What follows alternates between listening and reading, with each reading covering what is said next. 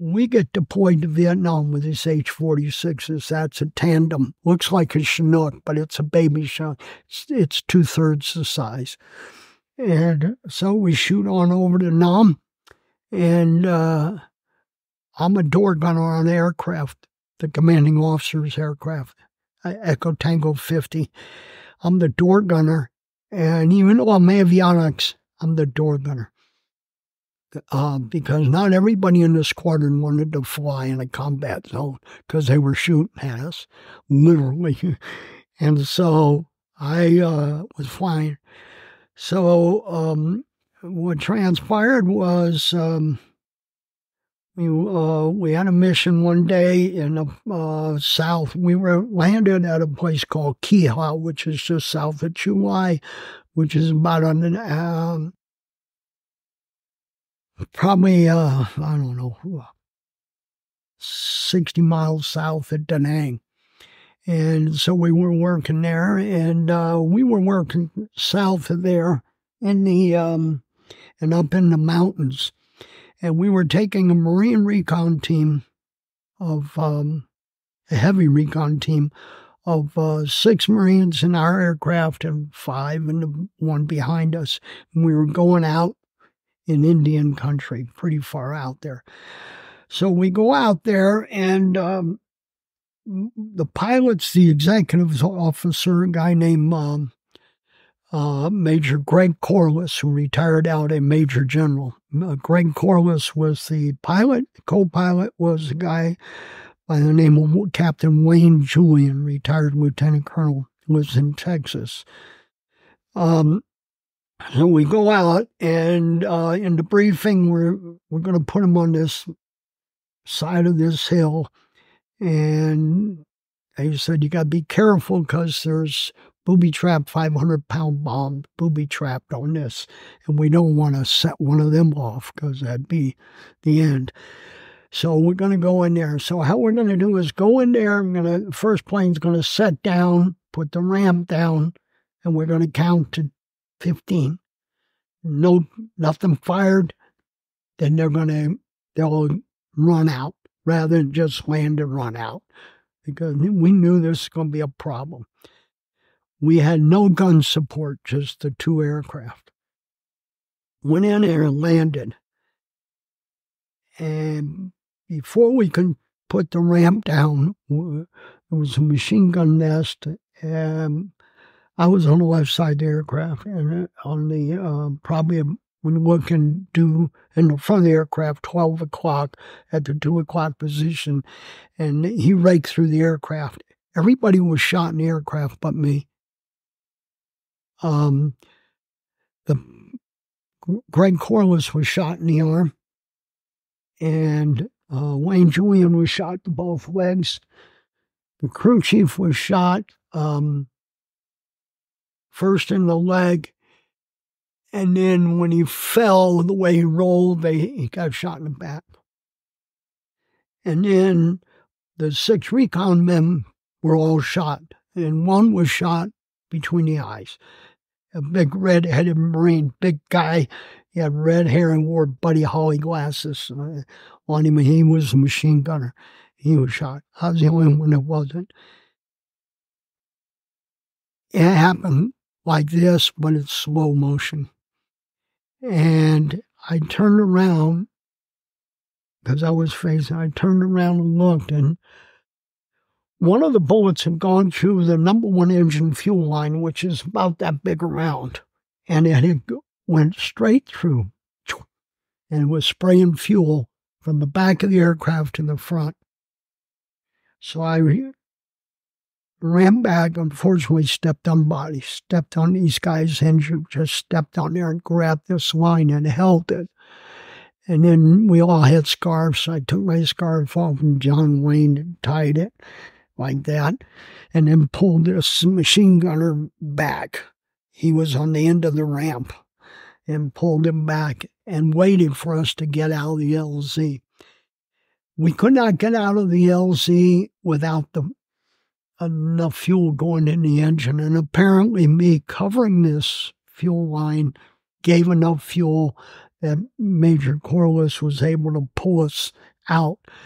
We were on the side of a hill, and all he did was pull us out, and we drove to the ground, to the valley, and got enough airspeed to get flying. One of the things that happened was all the communications in the whole aircraft was severed. I don't know, I, I, I can't remember exactly how, but lines were severed. So there was no communication within the aircraft called ICS and no communications with the outside.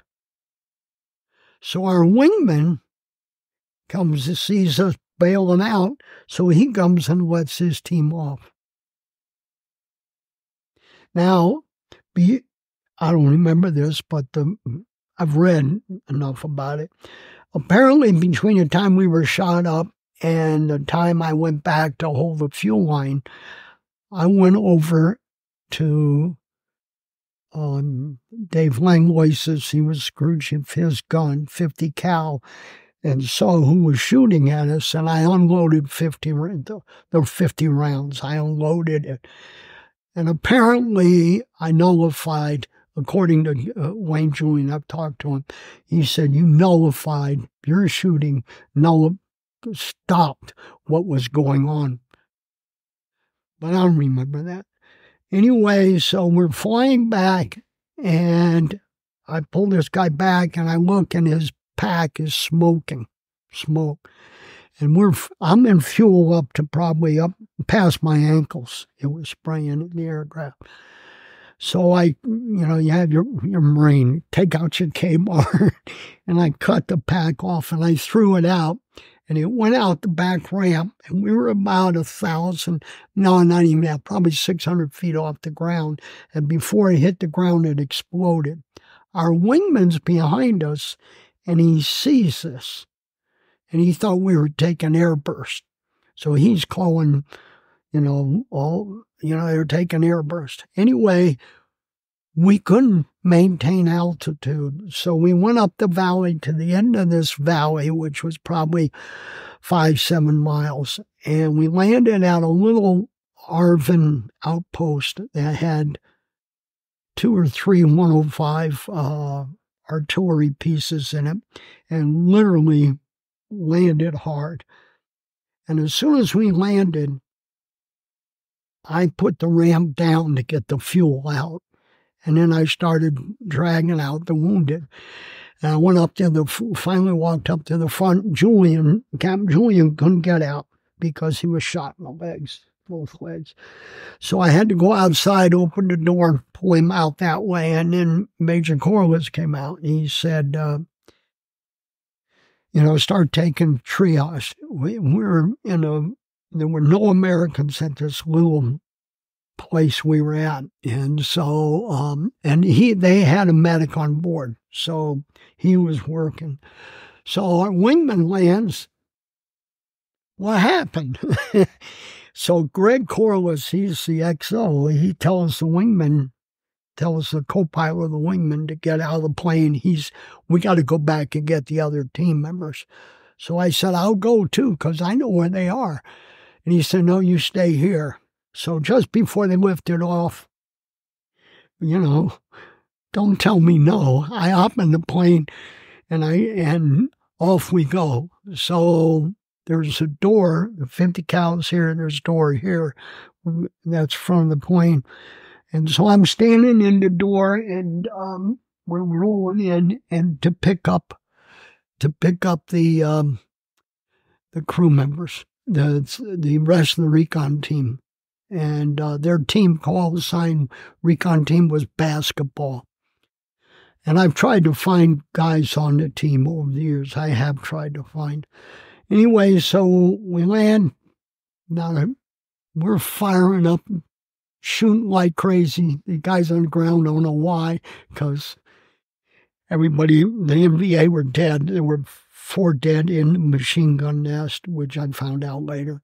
But anyway, we pull we pull them out, we bring them back, and um, so we land and uh, because we got to pick up the uh, co-pilot um, that we left, And I tell uh, Major Corliss, I'll stay with the aircraft. And uh, the Vietnamese will steal everything out of it.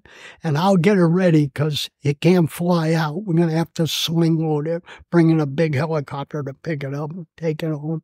Because it had uh, uh, 51 hits in it, 51 bullet holes in it.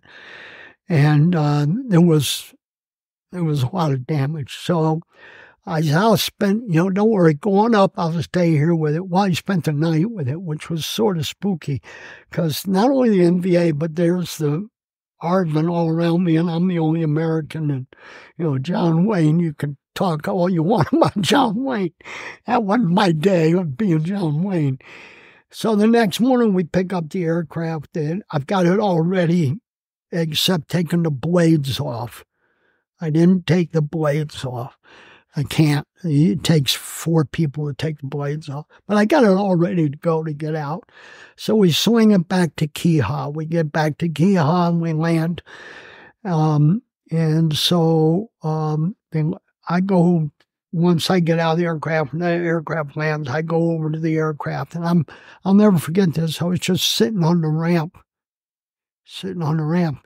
And it was finally hitting me well, now, uh, you know, everybody comes out and they're counting the bullet holes. I'm thinking, oh, gee, you know.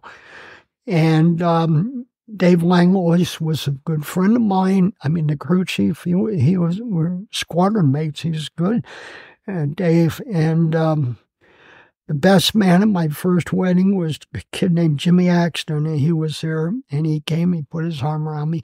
Next thing I know, the sergeant major comes up and says, uh, you know, um, Sergeant White, uh, um,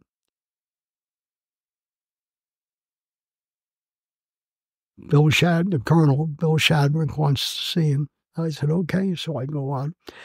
So just before I get in, um, a guy, Master, Master Gunner Sergeant um, uh, E.R. Smith grabs me and he says, don't say a word. Do not say a word. We got you covered. I don't know what the hell he's talking about. So I walk in, report, and there's the main, uh, avionics chief right there. Um, and I'm not going to mention his name, but he's deceased now. And um, um, he and I didn't like each other. Let's just say that. Anyway, so um, I go in and report, and he said, uh, Sergeant White, you're here um, uh, for an Article 15, which is a, um, you know, and I, I'm looking at it, yes, sir, uh, what's the charges? And he said, uh, direct disobedience of a lawfully given order in a combat zone. Now, I'm not a jailhouse lawyer, but I'm pretty smart. And I'm thinking, hmm, this is in a combat zone, this ups the ante. So uh, he says, um, "What do you want to do?" And I said, "I want to. I want a general court martial." I, you know, I'm not going to take the, on Article 15 admits Gill. I'm going to. So I said, "What are the charges?" And he said, "The charges are that you did on my helmet. You did not take. I had big yellow letters, "Fu Communism." And he said, Ma- uh, the master uh, gunnery sergeant, avionics chief, told gave you a direct order multiple times to take it off. And so I said, Well, sir, he said, You got anything to say? And now this is the day after I've been shot to crap. So I looked and I said, You know what? Um, if he had done his job in World War II in Korea, I wouldn't be here right now. Which my CO, my CO, Bill Shadrick, had been in Guadalcanal. He'd also been at Korea. He was 27 year Marine, full burn. And I'm telling him, this guy didn't do his job. And he looked at me and he said, hmm, he said, Well, um, before you sign the papers for a general court martial, here's what I recommend. And I had with me Master Gunnery Sergeant um, assistant maintenance chief. Uh, E.R. Smith was in Northern California now, old guy, got to be in his 90s. And he's, he said, uh, Master, uh, Master Sergeant Smith recommends that um, you tone down your helmet. I'm going to transfer you out of the avionics shop, and you're going to be my crew chief. And I want my airplane back up. Do you? I said I'll plead guilty to that. and um, so I walk out, and I'm no longer in avionics. I have my own airplane. Unfortunately, Dave Langlois never came back to the unit. He was shot up that bad. But I ended up the commanding officer's crew chief. I've never been through A school or B school as a mechanic. And I was a, a, a twidget, they call electronics guy, but I crewed. Subsequently, that two guys I knew did this same thing I did. They cross trained in Vietnam to become mechanics and flew. And one of them's very, very, very good friend of mine, uh, Red Logan. He became a, a mech too. But anyway, so um, I flew my ass off, and uh, that includes Khe Sanh and all that. And um, just before um, uh, probably in the spring of 66, I went out on R&R and Jim Axton, Jimmy Axton, my best best man at my wedding, Jimmy and I, he, he was an avionics and he was corporal whenever he could fly, flew with me. So he said we were uh, we were on flight scans and we both got uh, R and R's to Hong Kong and I said let's go let's they're going to Hong Kong and raise hell, you know. So we go there, and we, um, as a side note, we go to Hong Kong, and Jimmy and I, and um, we come back, and my plane at the time was in a 100 hour overhaul. So it wasn't ready to go back up to Khe Sanh. So uh, it was going to be like a day or two. And so Jimmy said, I'll I'll go up to Khe Sanh, and when we get when you get up there, we'll swap. I'll be your gunner, and we'll swap. Fine. So he took off, and uh, later that day, I was working on the plane, and uh, Sergeant Major Ralph B. Holmes came out to me with John Ackley, John John. John John had a real high voice, weighed 230 pounds, and was a Marine heavyweight boxer.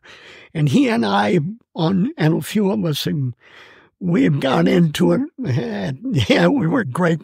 Loved the guy, John John. He's passed away now. Anyway, John John and the Sergeant Major came down and come here. So we lost a plane, and Jimmy Axton was killed, and uh, broke me up. Uh, so anyway, the reason I bring this up was years later, I uh, was uh, in the Bay Area, and I um, a uh, a news crew was doing a thing about Vietnam veterans, and they talked to me, and they said, and basically it's a quickie, and they said, "What's the best time, or what's the worst time Vietnam?" And the worst time was losing Jimmy Axton.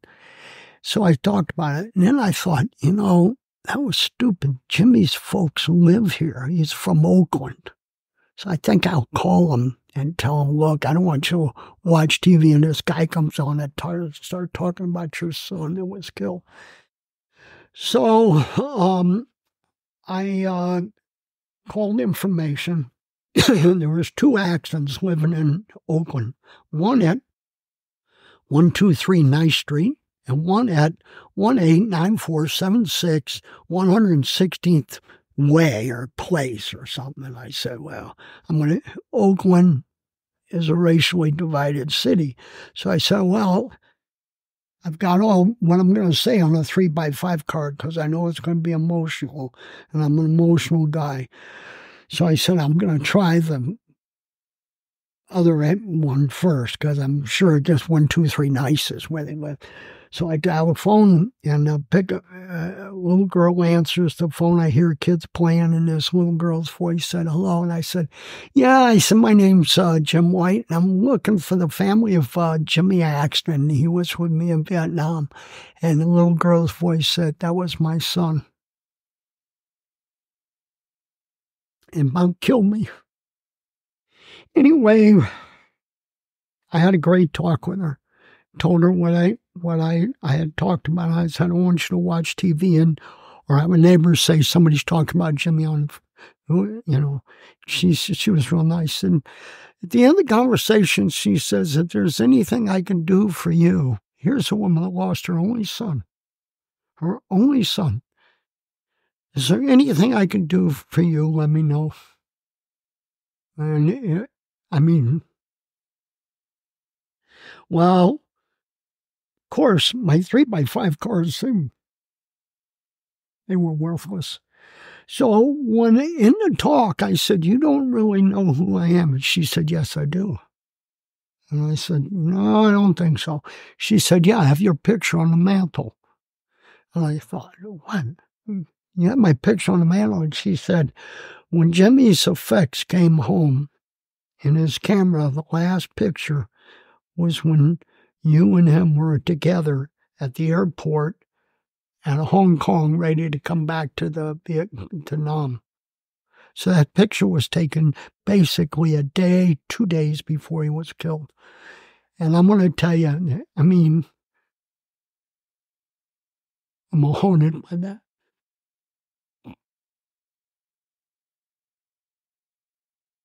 I've had losses, but that one haunts me, Jimmy. He's just his smiling face. California kid, pure 100% California boy. Had a, a black uh, uh, GTO um, 65 um, GTO chrome rims. I mean, yeah.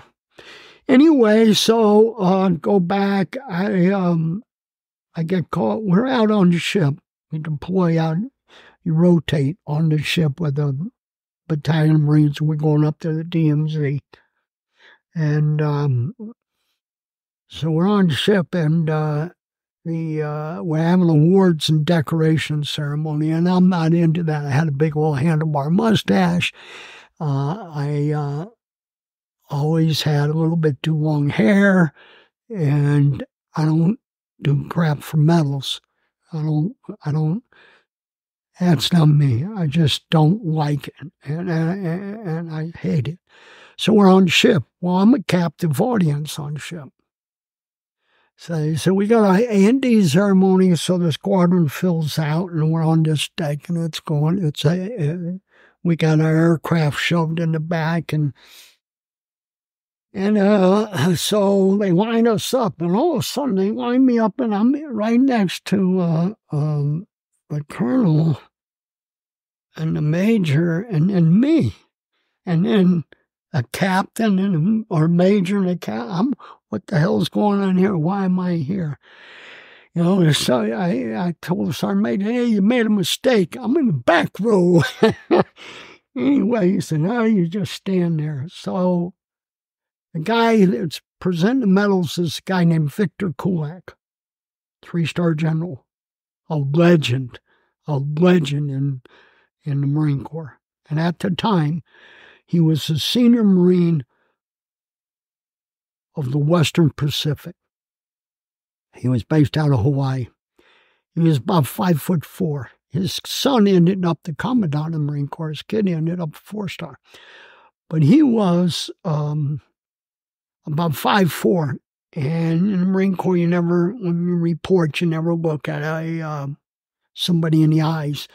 You look through them or over their head you stare, you know, you know. So I got the top of this hat. So he gets in front of me and he says, uh, uh, gives me this medal. And the medal was, I'd, I'd already won some medals from the Marine Corps, but this is a big one because it was a Distinguished Flying Cross. And my claim to fame was I was the first enlisted Marine to receive a Distinguished Flying Cross since um, Vietnam, uh, since World War II. It was a huge deal, huge deal. They had cameras and all this. Anyway, so I'm standing there and he says, he gives it to me, and I'm looking at my sergeant major. I keep looking because you can't look down at this general. I'm looking. And he asked me, uh, Sergeant White, what do you want to do in the Marine Corps? And so I said, Sir, I want to be a flying peon. Now, the flying peons were World War II guys that were sergeants that never got commissions that were pilots.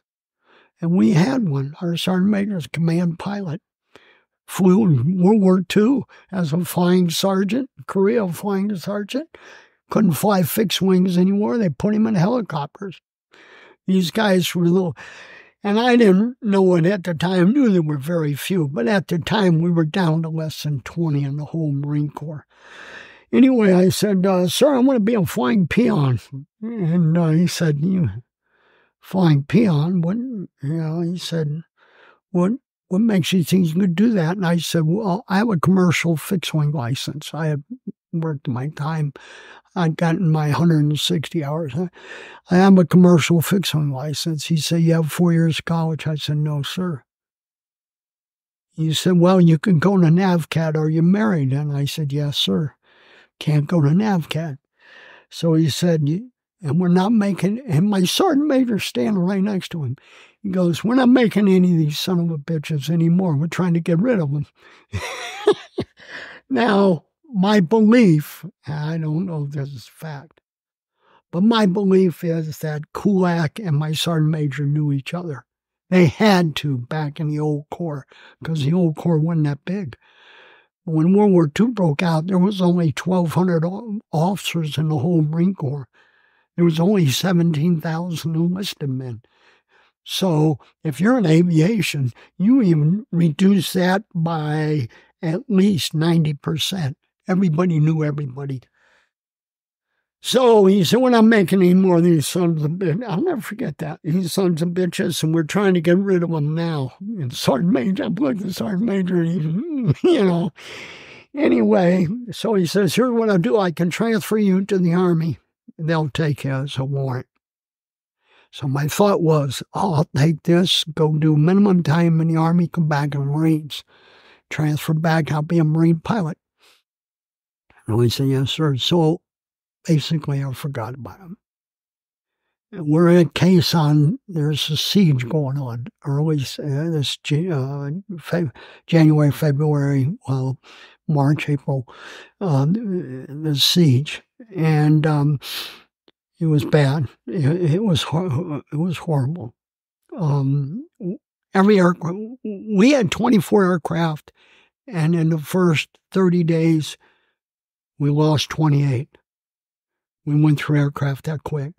Now you got to figure there's we moved from four man crews to five, meaning you had two door gunners and a crew chief, and you weren't okay. So we had one aircraft in our squadron where we lost 22 men, meaning we were taking guys out to Khe Sanh to work on damaged aircraft, and they were shot down and gone.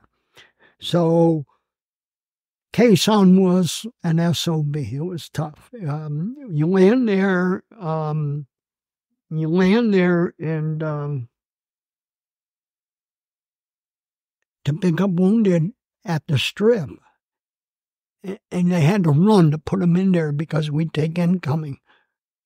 Or they they watched us. This, when the helicopters coming in, our CO at the time was a guy named um, Dave, uh, Dave Althoff, A L T H O F F, from uh, Phoenix, Arizona area.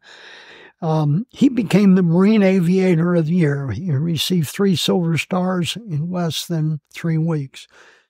He's the guy that figured out, or he made he made a thing called the gaggle on how used to be we'd go into an area to resupply Hill 881, 861 north south.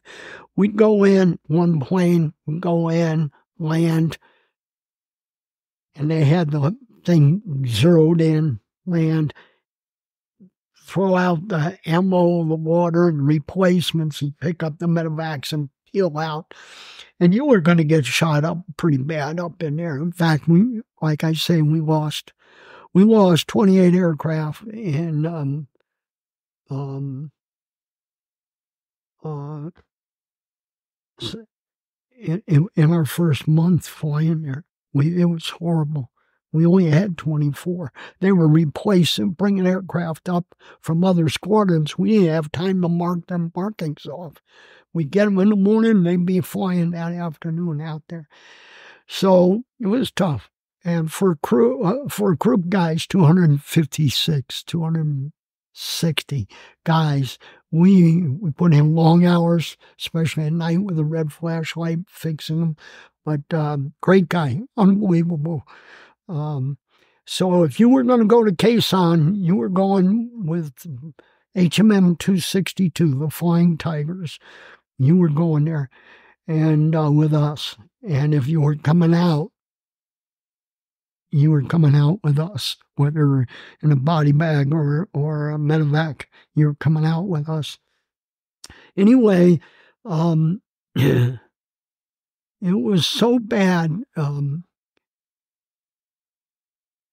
that you just didn't have time to think. And we were, running on adrenaline. When you couldn't. Eh, the, at night, we everybody was underground, underground bunkers, and rats. The rats didn't eat us. They ate what we threw there, but you'd be sleeping in it. And I'm telling you, these rats were this big. They'd come up on you. Get the hell away from me like that. I mean, it was it, the conditions, and I'm a sort of history buff, made me think of um, World War One, the trenches. It was horrible, and um, they had the highland, and they were we were taking direct rocket fire uh, and uh, um, artillery fire from North Vietnam. That's how close we were. It was direct. So when the planes would come in, they even got a C 130 coming in, landing. They hit him with a motor, boom, killed half the crew in the C 130. Got so bad, C 130s couldn't come in and deliver cargo. So what they did was come in low level, pop out a parachute, and slide across the. It was, yeah. The grunts on the ground, I, I, guys tells me he's a Khe Sanh vet. He's got total respect because I've been there. So anyway, in uh, late February, uh, I'm flying and you say, "Hey, White, uh, Dave Althoff, I'm his crew chief. He says, "Hey, grab your stuff. You got to go back to uh, to Quang Tri, our echelon place." I said, why? And he said, you just go on back there. He said, you got to go back see Sergeant Major. So my mom had been fighting on and off cancer, and I'm thinking, uh, this emergency leave. I can see this. So I go back there, and uh, Sergeant Major says, no. He says, you're going to Okinawa for discharge. You're going, when you're going to be out, you're going in the Army. And I said, wow. General Krulak followed through. His, his aide taken all the notes and followed through. So I get up to Okinawa, I get discharged, go over to Butler, get uh, sworn in, and there's five of us. There's myself, a Marine Staff Sergeant, um, two squids, uh, Navy guys, Air Force guy. We all have uh, commercial licenses. So he said, you guys all go back to the States. So they said uh, when they're were processing, they you know all the guys say, "Well, can I get leave? Can I get leave?" Well, when they come to me, they say, "How uh, you know how how much leave you want?" I, I don't want any leave. Just send me back. Get me. Let's get this done. I want to get back over there.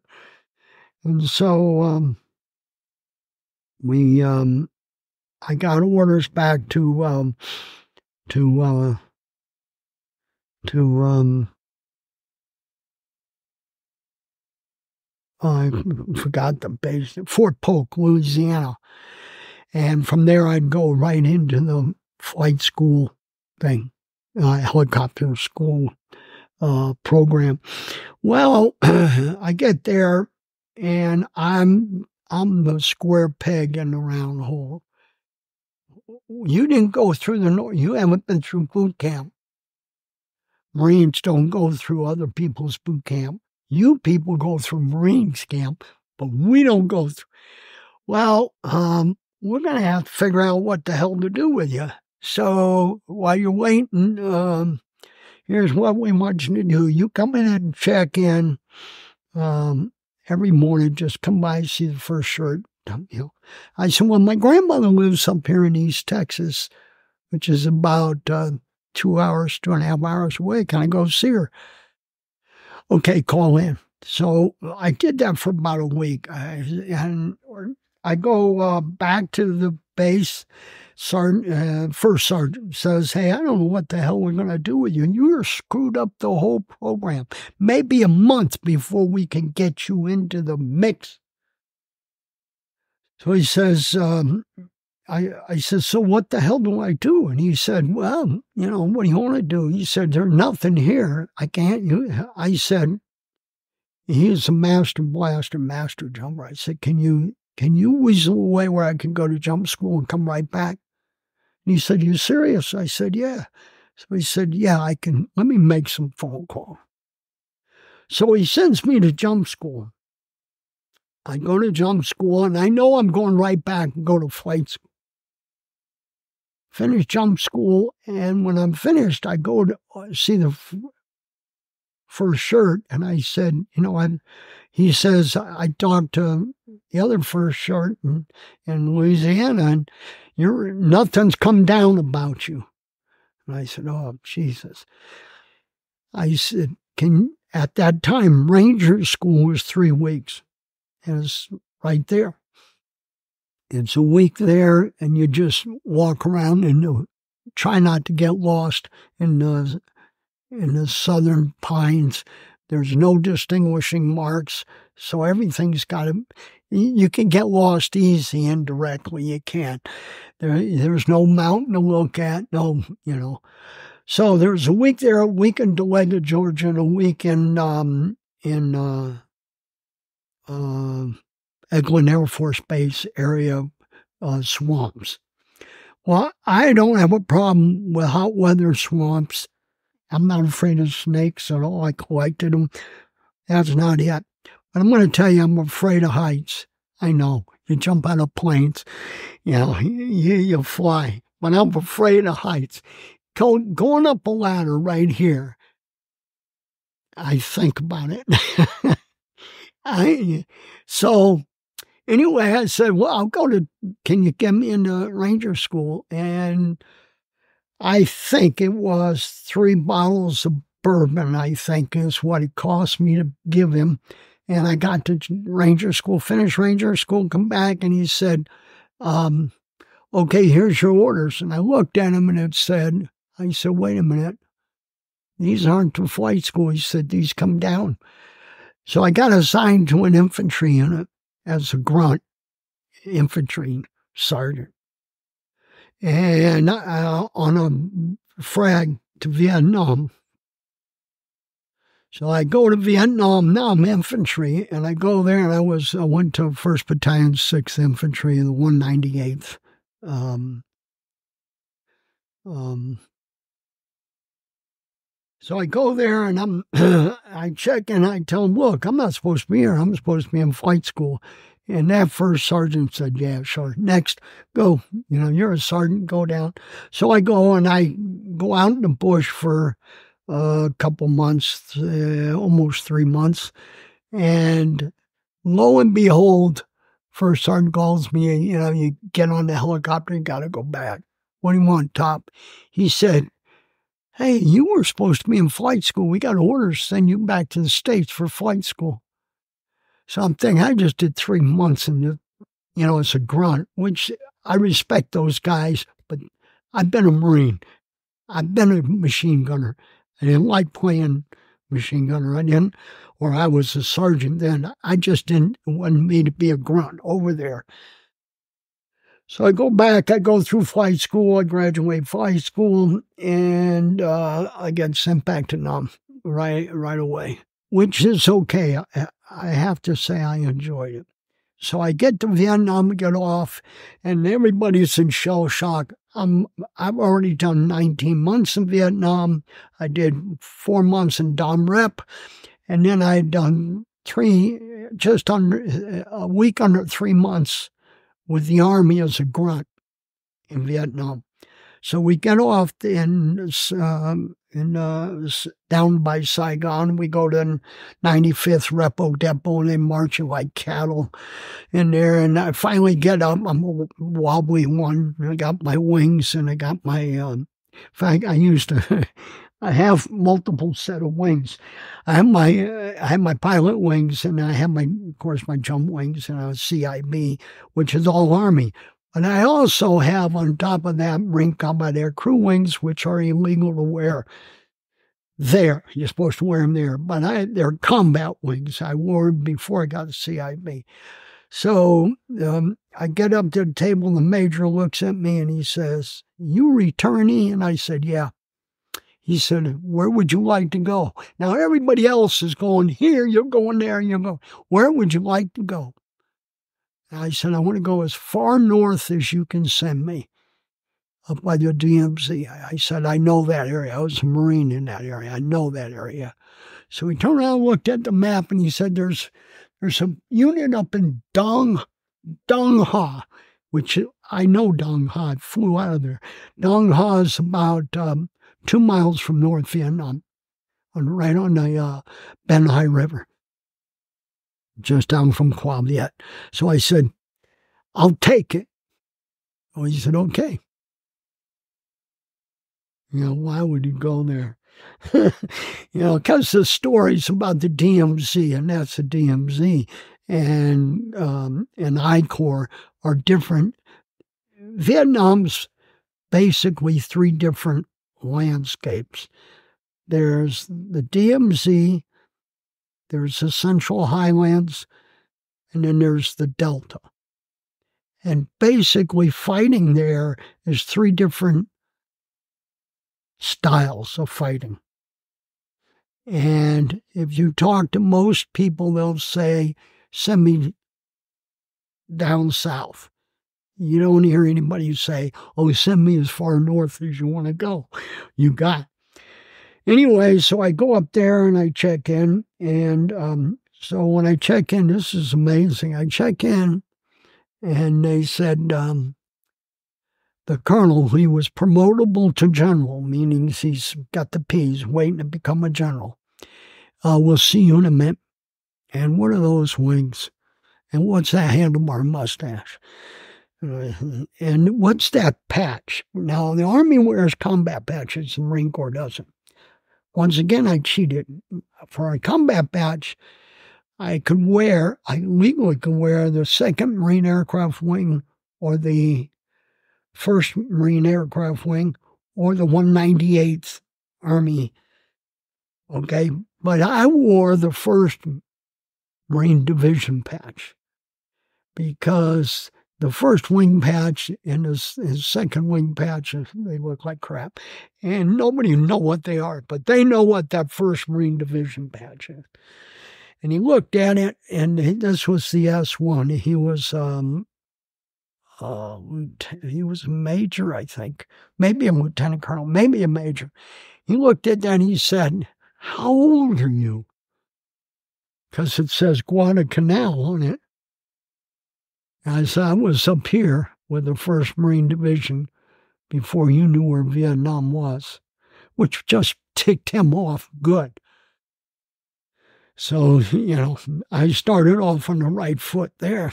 So I go in to report and I walk in, and the colonel was waiting for a star is a black man. And I never heard of a black full colonel, never mind one who's going to be a general.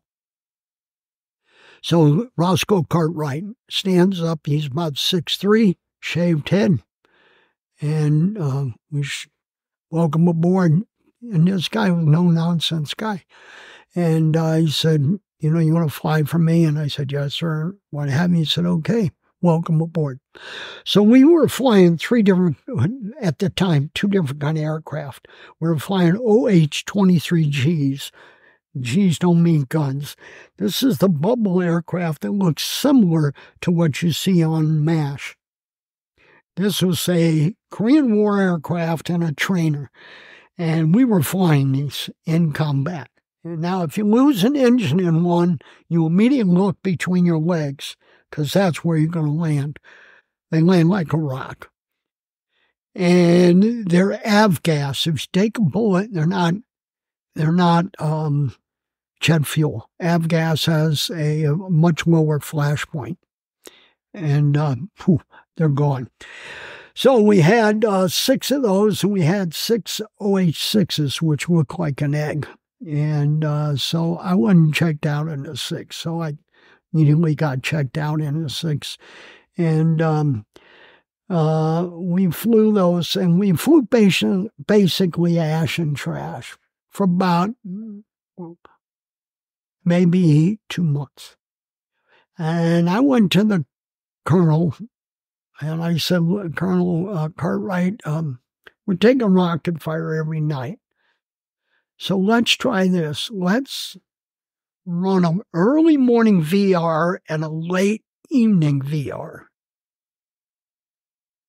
Now, we don't have, eh, we can't count on anybody doing it for us. So let's equip two aircraft to do that. That means put a minigun on it, put a on And so I, and I said, I'll, I'll run this operation. And he said, he went along with it. So we started doing the VRs, and um, uh, we I flew for him for seven months in the DMZ of YMVRs. My platoon leader was a guy named Jim Mitski, Captain Jim Mitski. He was uh, a ADA, Aerial Defense Artillery, ADA guy from um, a little town called Harrold, Texas, up by the Panhandle. His mom was the, um, get this right, I think his mother was the uh, postmistress and ran the county store. It's a one horse town. Boom. Anyway, Jimbo was the, um, he went to, uh, I think he went to uh, college in Oklahoma on a football scholarship. Anyway, great guy, wonderful guy, uh, Jimbo. So, um, Jim extends and says, I'm out of here. I'm going to extend and fly Cobras for um, ARA, aerial rocket artillery, because um, the units, uh, there were three units. Charlie Battery was the Griffins. They were flying for special forces into Laos, North Vietnam, long range MACV-SOG. That's their mission. So Jim and I talked about it, and he extended. I extended um, three weeks later, went to the same unit, checked in. He's my platoon leader. So, and I'm going to see him this August, and I haven't seen him since 1970. And I'm looking forward, I'm really looking forward to it. So, uh, just before I leave um, the unit to go to flying for the Griffins, just before I leave, we were doing a we we go out early in the morning, just very light, and go into the DMZ really right. And actually, we I'd cross the DMZ, go into North Vietnam, no more than a, a, a mile, no more, because that's Indian country, and, and if you get shot down there, your hands are really a mess.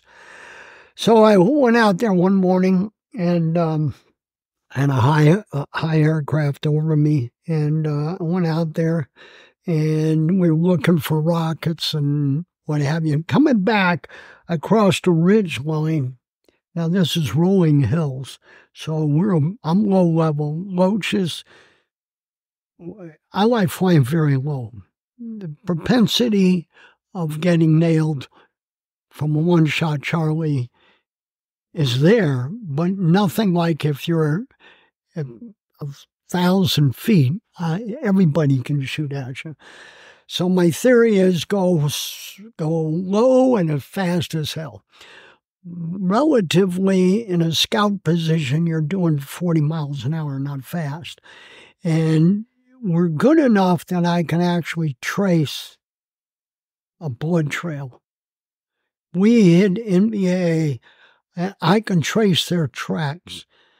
Mm. And depending on the moisture, if we've had rain that, let's say the day before, and there's no rain in that, in the footprints, I know those are very fresh.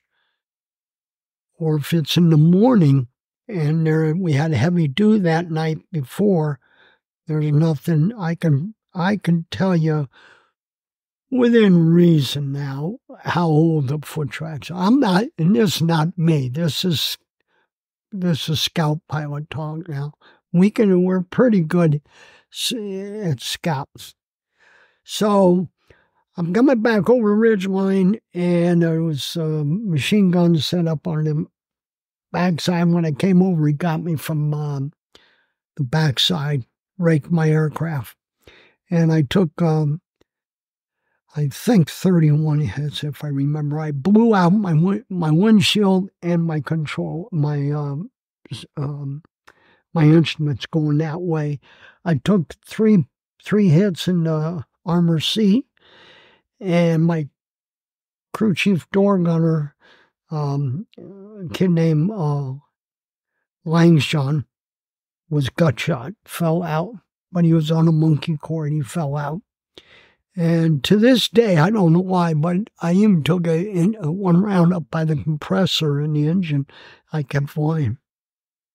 Anyway, I flew it back to 18 surge, landed, and um, uh, the point, as soon as I landed, the fuel was coming out. I mean, it was dead.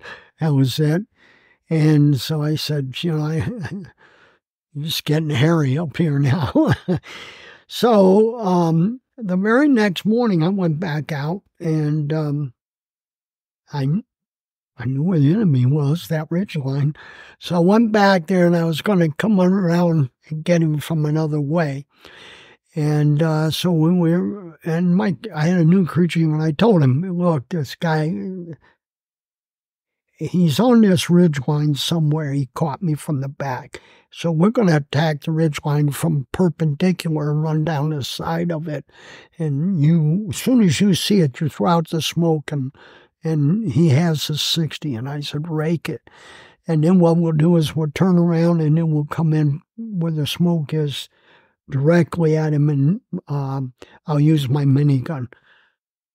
So anyway, um, they got us pretty good. Neither of us were hit, but the aircraft was all every bells and whistles. It wasn't going to fly any further. So I got it about um, maybe a click and maybe a click and a half away when I drove it into the ground. I mean, it just wouldn't fly anymore. And poof.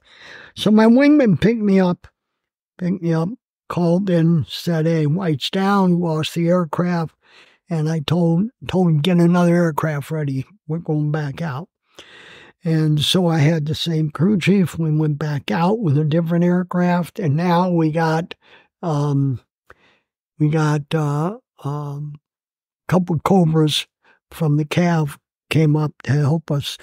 Um, and so I went, we marked it, and I got blasted again. And this time I made it closer to the base before I drove it into the ground bad, like I say, bad day. Anyway, my wingman picked me up. High ship came picked me up. I said, get another one ready. So we got, we went out a third time and the Cobras were working the area. They did a great job. So then when they, they made, you know, they said, go ahead and go in there and check. So I went in there to check and I mean, God, this guy, he had the nine lives of a cat, man. He just blasted the hell out of me. So I made it back to my first aircraft, and literally the two aircraft when I crashed it, and this was a good crash. When we finally got out of the plane, we were uh, less than 500 feet from the first aircraft that I had down. So I get in the plane, my wingman comes in, gets us, and we go back, and I get another airplane. When I land, uh, Colonel Cartwright standing there, and he said, Come here, you to the club. And I said, Wait a minute, sir, I know where they are. And he said, They know where you are, to the club. I can't afford you. You've already cost me three aircraft this morning. And so uh, two days later, I, my paperwork was in. I got transferred to Flying Cobras. Hmm. This is the this is the why I never went even thought going back in the Marine Corps. I'll go to Fly Cobras and I go. Our unit had our unit had three platoons, and we had to keep one platoon, four aircraft, assigned to special um, uh, SOG which everybody thinks is Special Operations Group. That's not what it was.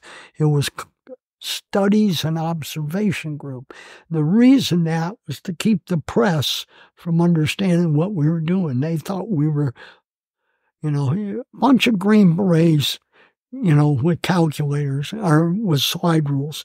It's funny as hell. But anyway, we were, we signed 26 pieces of paper saying that uh, we couldn't talk about what we did, nothing, for 25 years. And and the unit, in, until Ronald Reagan, he opened it up. Until then, you couldn't tell anybody you were SOG and what we did. So SOG basically is real simple. Um, Studies and Observation Group was part of Op Plan 35, which was the CIA operated with the Joint Chiefs of Staff mission where we did long range re- um, long range reconnaissance, some pilot recovery, some the Air Force didn't like it, uh, and I'll talk about that later. Some um, uh, shady um, psychological warfare items but primary uh, POW snatches where we try to get there, POW, uh, high-ranking members of uh, the North Vietnamese forces so we can interrogate them. Anyway, this was um, to take place in not South Vietnam, in Cambodia, Laos, North Vietnam, parts of Burma, and the five southern provinces of China. Indian country. Now, to be honest, helicopters couldn't reach China. Otherwise, we'd have been there, but we couldn't reach it. The SOG was bro- uh, broken down to different layers. As far as our our concern was, there was CCS, CCC, and CCN. CCS is Command and Control South, which is basically all operations in Cambodia. CCC was basically northern Cambodia, southern Laos. CCN was middle Laos, North Vietnam. So our job was to uh, basically insert recon teams. Recon teams were usually, usually two or possibly three Americans, and three to five um, mercenaries. And these guys were, um, they could be Chinese Nungs, they could be um, uh, the Montagnard people, which were the greatest. I mean, I can't say enough about those guys. Just wonderful people, um, and loyal to us to a fault. I mean, to a fault. They cost them their lives. So our package included four Cobras from our unit, four transport helicopters, usually from the 101st Airborne. Slicks, Hueys. Uh, usually one FAC or maybe two Air Force FACs, Covey. Now, if a recon team got in trouble and they called what's called a prairie fire, that's the worst thing. They're surrounded or whatever. Prairie fire, once they called prairie fire, that went up on guard. Every aircraft, fixed wing bomber, every was to stop their mission and go to them. So it, literally, when they got in trouble, they can literally instantly get 20 or 30 fast movers on top of them. The problem is they're dropping bombs that versus us, we're shooting rockets. We can we get down and dirty with them, literally down. I, I literally I can throw a pair of rockets in between uh, tw- 25 feet. Whereas a bomber, he's trying to hit the top of the hill. So I'm not against the Air Force. The Air Force did a great job, especially when you get uh, things like Spectre gunships and like those are at night, uh, where they can just circle around and just hose the area. Or the, in the early days, it was Puff the Magic Dragon, but we fired rockets and we were good at what we did. We were damn good. Um, so we kept four aircraft. One we had three platoons. So the rotation went is one platoon would go up to um, CCN. One platoon would be on red, regular missions for that day, and one platoon would be on stand standby. So that's four aircraft, but each platoon had six aircraft. So the two aircraft that were not being used were being serviced. so if you have, but not everybody volunteered for, CCN because you had to sign papers. And we had guys that said, I don't want to fly. I have a very good friend of mine that lives here in the state of Washington who was a Griffin who did fly CCN. But if you asked him, he would rather not. He didn't want to fly CCN, but he did fly it. But we had pilots that said, I don't want CCN. I'm not signing the papers. I'm not going to do that. Here's what happens if you get shot down, they don't get your body out.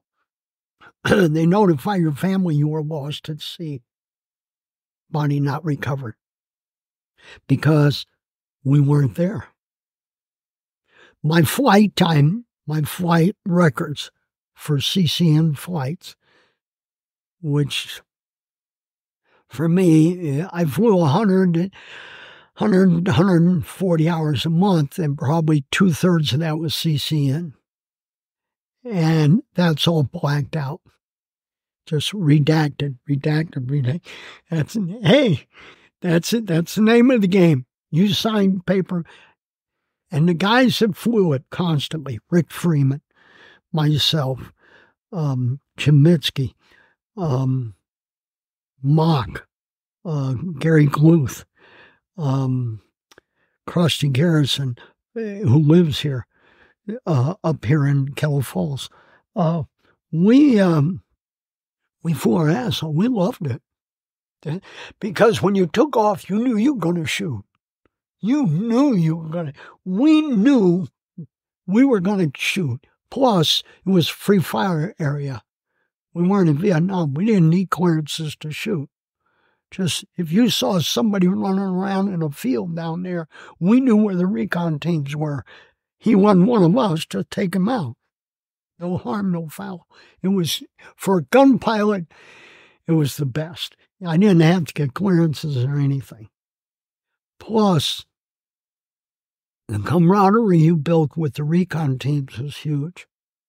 You save a team, when they come back and they get out of their aircraft, they run up to the Cobras and you're, you've got the windows open and you're cooling down the engine. They come up. I've had a guy come up and kiss me, said, I owe you. Because he was in deep shit. That's exactly it. And the Cobras, and I once, long, this guy just died. And this this is the legend. And for anybody interested in the history, they ought to read about this guy. They everybody talks about great Americans.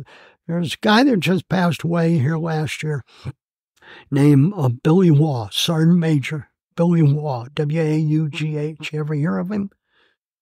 Billy Waugh, I gave him his ninth Purple Heart. I shot him in the ass. He was on a recon mission as a strap hanger. That means extra, extra guy. They were in to pick up a, uh, they were in there trying to snatch a um, POW on an engineering unit. They were building a road or something. And so Billy just in there. He Billy went in to get collect souvenirs. That's the truth.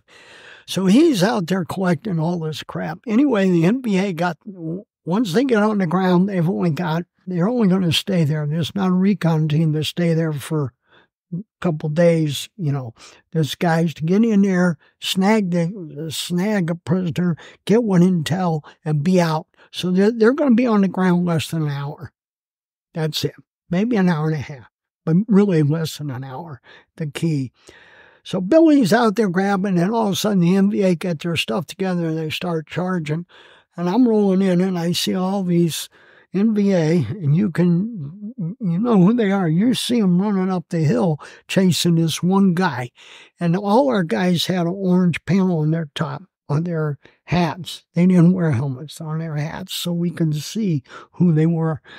And, and so I just went in, rolled in, and shot a bunch of uh, 19 pound, uh, 17 pound head rockets in between and then try to ease them into this onrushing group.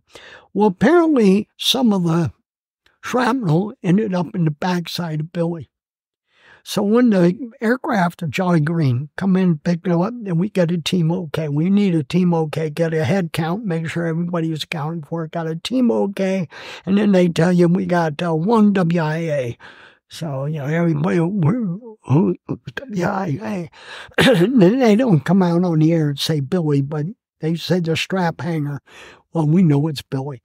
So we get back to Quang Tri. They dump him off. He's at 18th Surge. He's laying on a concrete thing in uh, triage. And he's, you know, they've cut all his stuff off his neck, and then they got this orange stuff they put on there, and they're starting to pick out shrapnel. I landed, refueled, and came back over in a Jeep with a couple other guys to see him. And I walked in. I said, Damn, Billy, what happened?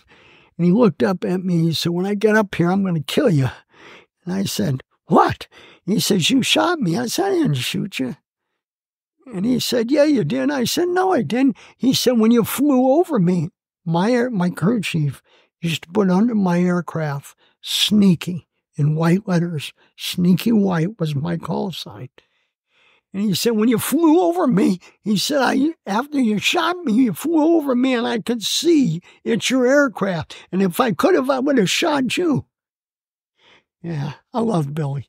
Billy was a surrogate father to me in the service. He taught, my wife will tell you right now, a lot of times I'll tell, I'll say something. I'll say, Billy taught me this. Yeah, Billy taught me. He's just an unbelievable guy. DFC. What was the Silver Star action? Oh, that well, I uh, that was um, I. how do you know about the Silver Star? I saw your Silver Star in the thing in the oh, case. oh yeah. Well, I um, we um, I was flying a loach and uh, we um, a um, recon. I was working. A recon team was in trouble, and we were working the Cobras, and I was flying a Loach.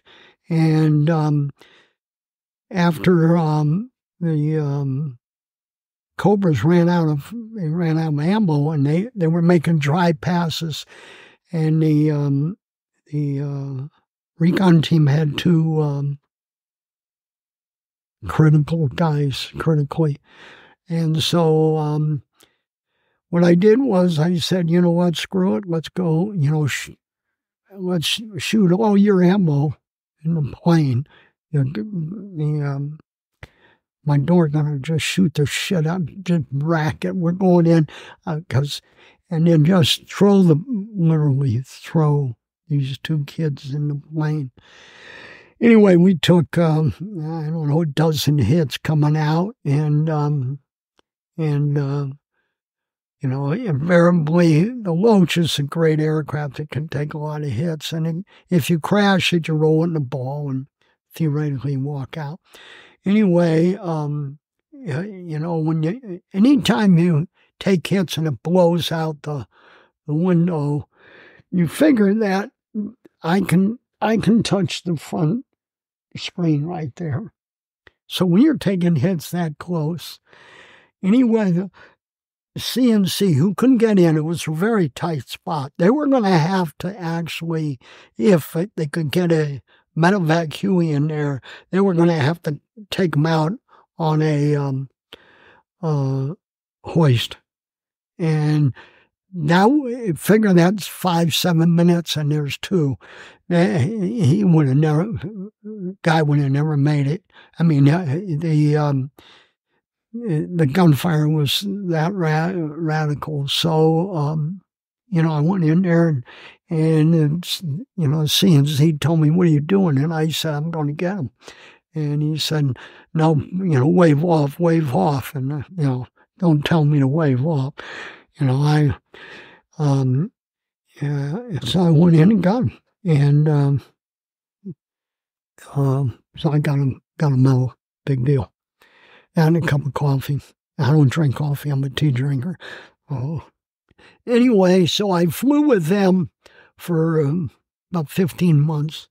And then when I had um, an operation called Lam Son 719 took place. And this was the last big eh, big operation in Vietnam. And what it was basically was uh, we, we, when I say we, the ARVN forces were going to go and all the way through and cut into um, Laos along the Ho Chi Minh Road. They were going to cut it. And it was a great idea. The problem was twofold. Congress had prevent would not allow had prevented Americans from going into Laos. We weren't supposed to be there. So we could not have Americans on the ground with the ARVNs. But we supplied the air power. So we had, I'll never forget this, we had a thousand helicopters. Picture that.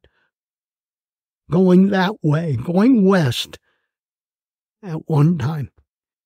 Okay, and and if you ever read, there's a a book by uh, Keith Nolan, who he's passed on, but he and he wasn't a vet, but he was he did his homework and uh, about um, Lam Son 719. There's several good books about it. The Lam Son. It was a disaster, and the reason is the fair, the ARVN dropped the ball. Not all the ARVN units, but a lot of them turned tail. Plus, the NVA knew we were coming, or they knew they were coming. They were ready for them. Anyway, um, when Lam Son 719 happened, they shut off SOG, said no more. So the first day Som 719, a CAV unit um, lost, I think, uh, they lost and um, Major Newman came down and saw me the night the next day and said, "Hey, Sneaky, uh, you want to fly scouts again for me?" He said, "I lost three of them yesterday, and I, I need somebody." So I said, "Sure." Under the condition that when I'm done with you, this operation, I come back flying Cobras because I'll go back Special Forces. And he said, "Sure." Well, little did I know that was the end of Special Forces, totally because it was the end of the war. Anyway, so I go and I fly scouts, loaches, from back into flying loaches, and, uh, and this time in the Laos, which is really wild. Um, the NVA were all over the place shooting. I mean, it was just unreal. But um, it was, I know, it was exciting. I don't want to say it was enjoyable, but it, it, yeah, it was exciting. I mean, we got back. We lost a lot of guys. Well, some 17, 19 was tough. After that, I stayed around flying um, for a CAV unit for um, about five, six months, and then I came back to the States at the end of the war. So, well, can I get just one more? Uh, if you had to kind of summarize briefly what your Vietnam experience means to you, is there any way you can do that in a brief little? It's the best. Vietnam experience was the best and the worst times of my life. Um, I made friends that are my friends today. I don't have too many civilian friends. I'm trying to think, I probably don't have any. I'm a loner, but not when I'm around my friends. My best, one of my best friends is a guy named Sweet Griffin, Rick Freeman. Rick and I can sit in a room and not say a hundred words and have the greatest discussion in the world for three hours. That's just the way it is. Um, it was a defining moment in my life where I feel I accomplished something good. We may have lost the war. We didn't lose the war. The politicians lost the war. Vietnam, the lesson learned was politicians need to stay out of the war business. And more importantly, and this is what I'm proud of being a Vietnam veteran, is that we are not allowing our country, i.e., politicians, but our country now to mistreat the veterans that have served in subsequent battles. If anything, we have become a strong voice for that.